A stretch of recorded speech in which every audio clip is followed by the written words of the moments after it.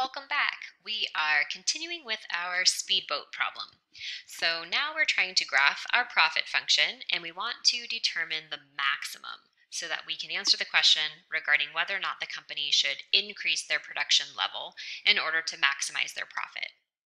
So I'm going to demonstrate on a TI-84 Plus color edition, but the keystrokes that I'm going to show you today will work on any TI-84 calculator as long as it's been updated. If it doesn't work, I will tell you the alternative keystrokes for a TI-83 or a TI-84 that has not been updated. So anytime we're going to graph, we are going to use our y equals button. So go to your y equals, and you'll notice that the leading coefficient is negative. So it's very important that you use the button here that is your negative button instead of your subtraction key because this is a leading coefficient. We want to make sure that it's a negative. And then the fraction that we want to enter is 1 divided by 120. And if you're on a TI-84, the fastest way to enter a fraction is to use this shortcut menu, F1. And you'll see that it's in green, so to access it, you must use your alpha key, and then choose y equals. And this brings up what we call the shortcut menus. There's actually four of them, and the very first one is the fraction shortcut menu. So you can choose number one, and that's going to create a vertical fraction for you. So you'll just enter one, and then use the arrow keys to arrow down into the denominator of your fraction, and then you would use the arrow right to enter out of your fraction. So that's how you're going to enter in negative 1 divided by 120 on a TI-84. Now let me just mention for everybody else, if you're on a TI-83, then you're going to want to go use your parentheses and then negative 1 and then use your division button instead and you'll enter your fraction sideways like this if you're on a TI-83, negative 1 divided by 120. But really important on a TI-83 that you include those parentheses. I'm going to clear and go back to my fraction shortcut menu again so that I can show you what it looks like on a TI-84. So the next thing we want to enter is the variable x cubed. And our variable key is right here on all calculators. And to raise this to a power, we're going to use this caret button. And we'll raise it to the third power. And then on a TI-84, you need to arrow to get out of the exponent. Next we have plus 5x squared. Now to square a quantity, you can use the caret like I just showed you, or you actually have a button just for squaring right here. You could use the x squared button. Either way, they both work. Minus 370x minus 4,500. And now we have the entire function entered into our y equals. So next we want to graph. And you'll notice at the top you have five buttons, and these are all of the buttons that are related to graphing any function on your graphing calculator. And rather than hitting the graph button, I always recommend that you actually start with the zoom button. So choose zoom, and you'll see that the sixth one down is Z standard. And I always want you to start with number six, zoom standard. And you can either arrow down to get to number six, or you actually could just type the number six here, and that will select the sixth one. This is a standard viewing window, which means that we are going from negative 10 to positive 10 on the x-axis and negative 10 to positive 10 on the y-axis. So I always like that you start with a standard viewing window because you never know what problem you were on previously and how your window may be slightly different from a previous problem, or maybe even somebody else borrowing your calculator. And you'll notice right away that I don't see anything. But if I go back to my function and actually take a look at it, notice that when x is equal to 0, if I put 0 in for all these x's, I have negative 4,500. So my y-intercept is negative 4,500. So looking at my graph, since my y-axis only goes down to negative 10, it's no surprise that I'm not seeing much of this graph right now. So we need to determine an appropriate window. So find your window button. And I always recommend that you just change one thing at a time. Don't change too many things in your window. So let's begin by thinking about, in this context, what does the variable x represent? X is the number of boats produced. And the problem tells us that the company is currently making 340 boats. So it would be logical to change our x maximum to a value bigger than 340. So pick a number larger than 340. I'm going to choose 400. And if this isn't big enough, then of course we can adjust this later. But I'm only going to choose to change one item at a time. And I'll go ahead and hit my graph key again. And now I see part of the graph here. On mine, it's in blue. If you're not on a color edition, you'll just see it in, in black. So at least we see part of the graph. But we do not see the S shape that we're expecting. And again, that's because of our y-axis here, it's only going to 10. Now in this function, the y values represent the profit. So this is only going to a profit of $10. We're probably making a lot more money if we're making boats. So it would be useful to figure out how much money are we currently making if the company is making 340 boats. So one way to figure out an appropriate window is to use the table feature of your calculator. So that's above the graph key. So I'm going to hit my second button and go to my table. So now on my table, it's showing that when I make zero boats, I have a negative profit, negative 4,500. And we would like to see how many, how much money we're making when we make more boats. So one way to do that is just to arrow down through your table. You can scroll down and start to see your Y values change as we make more and more boats. But this would be pretty tedious if I was trying to arrow until I got to 340. So it's going to be more efficient for us to use our table settings feature. So that's above window. So find your second button and choose window. And let's choose our table. Let's let it start at 340 boats. So I'll change my table start to 340.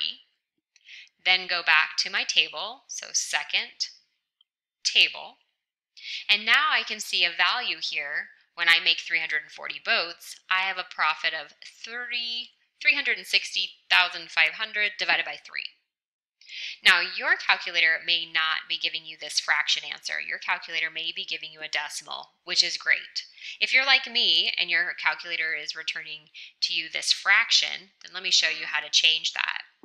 You're going to find the mode button on your calculator. And you'll notice if you go down in your mode, there's an option that says answers, and you can change it from auto to decimal. So arrow down to the one that says answers, and then arrow to the right and press enter. Be sure you press enter so that you select decimal. Now when you go back to your table, second table, you'll see now you don't have a fraction any longer. However, I don't actually have a decimal, do I?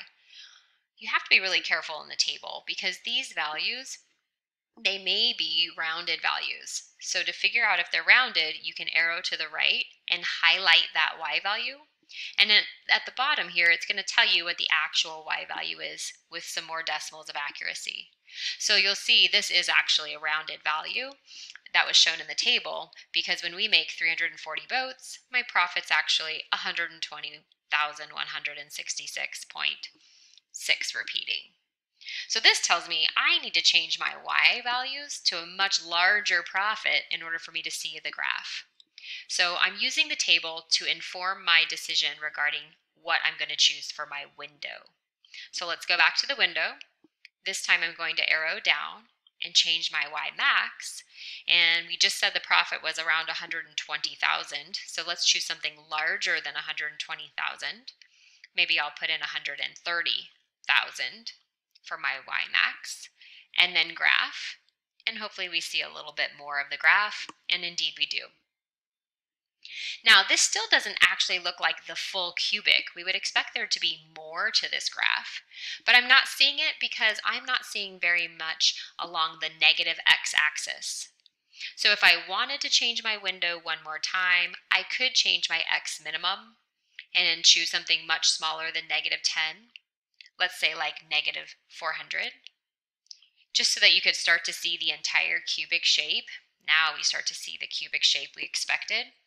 However, in the context of this problem, negative x values don't really make sense because x is the number of speedboats produced, and we can't make negative boats. So you can leave it like this, or if you prefer to just go back to what we had before, which was negative 10, or even 0. 0 would be a logical starting place. Then you don't have to worry that you're not seeing the entire graph, because we're really seeing the maximum here, which is what we need. So to calculate a maximum or a minimum, you're going to use the calc menu, which is above the trace key. So let's go second, calc. This time we're going to choose number four, which is maximum. And you're going to be prompted for the left bound, which means you see this little cursor that's blinking. I often call it the bug. We want to make sure that this bug is clearly to the left of the maximum that we're trying to calculate. So right now where my bug is, it is definitely to the left of the maximum that I need. So I can just press enter. Now if your bug was not to the left, then you would use your left and right arrow keys and move it until it was definitely to the left of the maximum. Now we're being asked for a right bound. So I'm going to use my right arrow key and I am going to arrow, you can just keep your finger on it if you want to, and just arrow that bug or that cursor over so that I am clearly to the right of the maximum that I'm looking to compute. Be sure you're far enough over so that you're definitely to the right and press enter. So now the calculator is going to compute the maximum that is in between these two arrows. So you don't really need to make a guess because there's only one maximum in between the arrows. So just press enter and it's going to calculate the maximum for you. So I would definitely write down this coordinate on my paper. We have a, a local maximum at 358.75 roughly. That's the number of votes. And the profit, the maximum profit there is $121,506.27. So answering the question, should the company increase their production level in order to increase their weekly profit? The answer is yes. If the boats made right now are 340, we want to increase our production because this number, 358.7, is clearly larger than 340. However, let's really be accurate with our answer. Since we can't make a fraction of a boat, should we make 358 boats or should we make 359 boats? We can't really answer that question until we determine the profit for both of those different values. So the last thing I want to show you on your calculator is how to get a y value for a specific x value. And there are a number of ways of doing this. I'm going to show you though how to do it off of the graph. So we're going to go back to that calc menu. So second, calc, but this time we're going to choose number one that says value. And you'll notice this lets you enter in any x value that you want. So let's put in 358 boats, press enter, and that will tell us that the profit will be $121,504.07. Now let's do the same thing and enter 359 boats. Second, calc, choose number one, value, and enter 359 this time. And you notice the profit is actually a little bit larger. $121,506 is the profit for making 359 boats. And there's about a $2 difference. So yes, the company should increase their production and they should increase it to making 359 boats each week in order to maximize their profit.